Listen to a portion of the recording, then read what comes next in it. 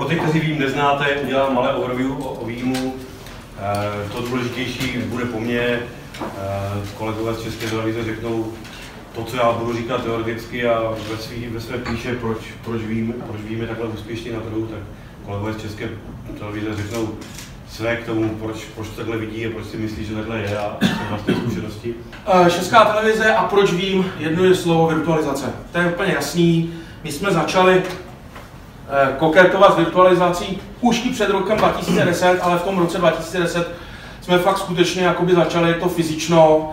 Bylo tady cirka 90 fyzických serverů, různých aplikací a, za, a jak Linuxu, tak Windowsu, tak jsme je začali převádět ne, že jsme vytvářeli ve VMwareu ty stanice nebo ve, ve virtuálním prostředí, ale fyzicky jsme je převáděli nějakými tooly do toho virtuálního prostředí. Jakož nám to rostlo, bupnalo, virtualizace se stala velice populární, management to viděl jako šetření peněz. Jsme začali řešit, řešit čím, čím to zálohovat. E, začali jsme hledat nějaký software nebo nějak, nějakého vendora, který by nějaké to zálohování měl uděláno a narazili jsme na ten Veeam. A v tu chvíli, když jsme to vyzkoušeli, tak jsme si řekli, to je prostě to nejlepší, co v té době existovalo. Jednoznačně ty, ty ostatní tu dobu prostě zaspali a nebylo nic takového, co, co by ho překonalo v té době. E, jak tady říkal můj předchůdce, ještě v té době určitě vím, ještě tady nebyl, jo? takže jsme to hledali po světě, kupovali jsme to ještě zcizený a tak dále. Takže my jsme začali s tím výjmem koketovat už v roce 2011. V současnosti zálohujeme pět VM klastrů, přešli jsme z Hyper-V v té době, nám nevyhovovalo, tak jsme hromadně přešli na VMware prostředí, to znamená ESX. E, takže v současné době teda mám těch pět klastrů v zálohování ve třech různých lokalitách. E, těch klastrů jsou v Praze jsou čtyři a jeden je v Ostravě ty tři lokality, ty vám potom ukážeme, možná, že jste je viděli na, na, na, na tom modelu velké české televize. To jsou tři datacentra tady v Praze a jedno je tedy v Ostravě. Ta Ostrava, pak řeknu ještě e, později, je připojená 1 GB linkou. E, tam potom vysvětlím, jak to zálohuju. Počet CPU paketů v současnosti je 28, do budoucna budeme jich mít 30, nějak to dále rozšiřujeme. Těch virtuálních strojů je 250 napříč operačními systémy. Ještě dokonce jsem donedávna zálohoval Windows 2000 server, asi pár procent je ještě 2003, nejvíc je 2008 R2 a teď 2016 a 2012 Linuxu asi 15-20% maximum. No, těch Linuxů tady moc není, takže, takže, takže je to marginální. Co se týče ještě nasazení, používáme i Win One, je to docela zajímavý produkt, nevím, nevím proč se tolik neprosazuje, jestli to vůbec někdo používá ve velkým jako my, musím říct, výborný nástroj. Jo, to, že kupujeme Availability Suite, produkt od výjmu, tak eh, mám to nasazený a ten monitoring je velice slušný. Tak, proč právě vím a Česká televize jednoznačně první na prvním místě, ta rychlo zálohování a ta obnova. Uh, integrace potom mozuk a stěžení aplikace pro českou televizi. Nejdůležitější jsou SQL databáze, SharePoint, Eh, File Restore, později budu, budu mluvit o něm, Exchange, velice za, eh, důležitá záležitost.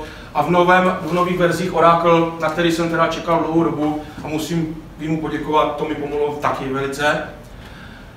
Co se týče používání, tak to je to prostředí je naprosto jednoduchý, ovládání je jednoduché, vytváření jobů, dokonce skriptování a těchto věcí. Oproti o, jakoby, o konkurence, konkurence ta prostě takový prostředí vůbec nemá. Takže nedá se vůbec mluvit o tom, že tam někde ještě jedou v příkazových řádkách, tady prostě jedete, vidíte, e, v podstatě ten, kdo vyrostl v Microsoftě prostředí, tak kliká a, a, a konfiguruje. Co se týče nasazení, tak tam nemá nic co víc se říci.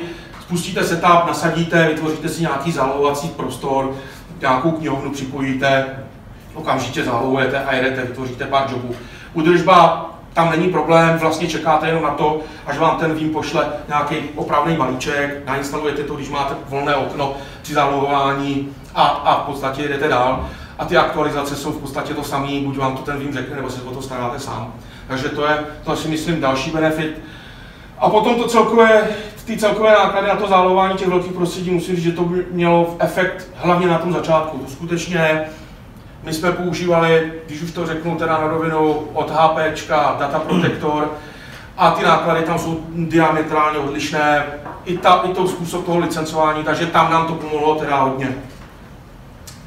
Tak, současný stav. Co se týče toho současného stavu, tak v Praze momentálně zálohujeme systémem jeden zálohovací server a tři backup eh, repository proxy. To znamená, že mám tři pomocné servery, jeden ten hlavní, na kterém je teď momentálně připojeno 80 terabajtové pole a, mo, a v, současném, v současné době mám ho 80% zaplněný. Eh, držím zpětně 30 dní, veškerých serverů, který tam zálohuju, je jich přes 200. Eh, mám vytvořených 29 zálohovacích jobů, to znamená, kontinuálně mi jede, už teď zálohuju, bohužel budu, eh, za chvilku povím, okno od 6 odpoledne do 3 do rána, budu to v budoucnu muset předělat, znamená těch 29 jobů a celý to prostředí jsem schopen protočit a zazálohovat za jednu noc těch 200 serverů. Eh, těch 90% zálohovacích přenosů je prováděno Direxanem. Vysvětlím, je to v podstatě to, že ten server, který vám ty, eh, ty stanice zálohuje virtuální, nejde po síti, netečou data po síti, ale je to přímo po, my používáme Fiber Channel, takže nám to jede po slance. To znamená, zase šetříte, šetříte provoz na síti, ty systémy vám běží, jedou pro produkčních sítích a vy v podstatě zatěžujete jenom sanku. Co se týče Ostravy, ta je propojená s Prahou gigabajtovou lineou. E, do, toho, do těch jobů jsem ještě za, to, což je, což je důležitý, pardon, což je důležitý, jsem uh, zakomponoval zpravodajství a grafiku. Udělal jsem, to, udělal jsem to záměrně, protože tohle to jsou dostěžení věci. Chtěl jsem to oddělit od tohoto obrovského zálohovacího prostoru. Takže jsem vytvořil separátně druhý zálohovací server, tady těch licencí je samozřejmě víc, tady, tady mám pár hostů. Uh, udělal jsem proxiny, jednu tady vnitřní, pražskou, která zálohuje tu grafiku a zpravodajství, a druhou ostravskou, ta vyloženě pomáhá tomu, tou jednak tou líkou v podstatě ta ostravská proxina mi sebere všechny ty zálohy v té Ostravě a jenom rozdíly mi pošle sem do pole, který mám tady v Praze, který má kapacitu 32 tera, je to teď momentálně na půlce, opět 30 dní držení záloh, mám tam 7 zálohovacích jobů a skutečně tam zálohujeme už i kritické věci. Jo, tím, že v podstatě televize, televize jako médium není úplně homogenní prostředí, jako jsou banky a různý výrobní, výrobní závody a tak dále. Tady prostě máte miliony systémů, miliony uh, shareů, serverů a takhle. To znamená, tady prostě je potřeba dávat pozor, co všechno se zálohuje, s tím, že nejhorší slovo v české televizi je, že to ohrožuje vysílání. To znamená, když to nejste schopni prostě obnovit, nebo vám to spadne a vy to prostě nejste schopni obnovit, tak, řekne, tak vám hned začnou lámat a, a nadávat vám, že ohrožujete to tím vysíláním. Takže tady skutečně je potřeba a dávám na to pozor, tohle to je vlastně to nejcennější v podstatě a je to skutečně to, že tady zálohujeme systémy, které opravdu aktivně zasahují do toho vysílání. Jo. Co se týče budoucnosti, nutnost, potřebuji rozšířit tu repozitory, protože virtualizace má sice obrovské výhody a má jednu strašnou nevýhodu. Uh, vedení a lidé, kteří rozhodují o penězích a vědí, že máte něco ve virtualizaci, tak je v podstatě nezajímá to, že na čem to běží. Oni moc dobře vědí, že řeknou, ano, dáme to do virtualizace. Prostě všechno, co někdo někde potřebuje zprovoznit, dá si do virtualizace a ze začátku to nestojí nic. Až mi to začne botnat, tak pak řeknete, musím dokoupit něco nebo nějaký hosty, nebo, nebo řeknu, nemám možnost už dál zálohovat, dochází, dochází místo. Znamená, je to taková ta virtualizace dost, dost jakoby nebezpečná v tom, že rostete, rostete, všechno tam házíte a najednou zjistíte, že to nemáte kam dávat, například zálohovat. Takže nutně potřebuji do budoucna rozšířit depozitory, chci navýšit počty dnů pro držení záloh. U těchto těch systémů už to ani tak moc nebaví, nevadí, ale zálohují tam exchange, zálohují tam file servery, tam, tam, je, tam je požadavek u těch uživatelů na to držte to co nejdéle a obnovte mi to co nejrychleji. To je prostě jasná praxe, lidi pracují s dokumenty, jsme médium, lidi si vyměňují data, vyměňují si e, multimediální soubory, všechny tyhle ty věci, sdílí to po všech serverech, po všech čertech, když to řeknu takhle, potřebují to mít rychle. Omylem to smaže, potřebují to mít rychle obnovený a tak dále. To znamená, tohle je důležitá věc. Kompletní přestavba uvažuji kompletně přestavit, protože tím, že jsme se strašně rozšířili, už mi nestačí, už mi nestačí infrastruktura. To je samozřejmě další jedna z věcí, kterou nutně potřebujete, pak, když zálohujete relativně velké prostředí, nejsme, nejsme až takové, takové velké prostředí, musíte mít opravdu silnou tu infrastrukturu na pozadí při tom zálohování. Pak ty rychlosti dosahujete.